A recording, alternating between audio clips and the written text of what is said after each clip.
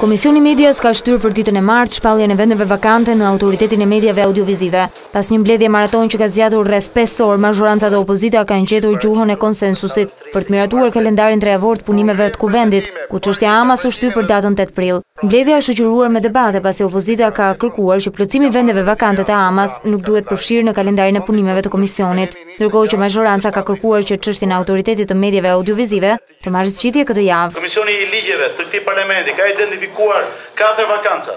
Më pas ka ardhur një memo e cila gjithashtu thotë të njëjtën gjë që thotë edhe vendimi i Komisionit të Ligjeve dhe ne jemi të detyruar mbi bazën e kësaj logjike, mbi bazën e kësaj procedure dhe mbi bazën e detyrimit të objektit të punës që ne kemi si komision për monitorimin dhe futjen në shtatin ligjor dhe procedurial të gjithë punëve të institucioneve të varësisë nga ne, një prej cilëve është dhe ama, që ne ta bëjmë këtë gjë.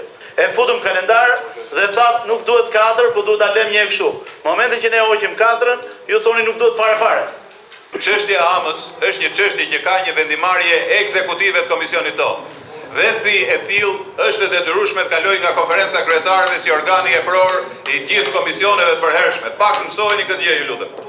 Më herët, nënkryetari i Komisionit Alfred Peza është shprehur se do të shihet mundësia për t'i kërkuar Kuvendit shkarkimin e kryetarit Genc Pollo pasi po zvarritet procesi i reformimit të Amas dhe të Radiotelevizionit Shqiptar. Në emër të mazhorancës ne do shikojmë të gjithë procedurën ligjore dhe parlamentare për t'i kërkuar Parlamentit shkarkimin tuaj si kryetar i Komisionit, pasi ju po bëheni pengesë për punimet e këtij Komisioni, për reformat dhe për punën e këtij Komisioni. Në rast se procedoni për shkarkimin tim, ta bëni në përputhje me Rregulloren e Kuvendit dhe letrat t'i shkruani saktë.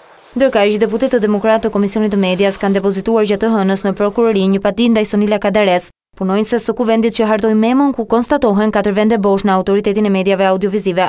Në kallëzimin e demokratëve, Sonila Kadere akuzohet për shpërdorim detyre, falsifikim dokumentash dhe korrupsion pasiv, pasi në harkun kohor të një viti hartoi tre memo që bien ndesh me njëra-tjetrën.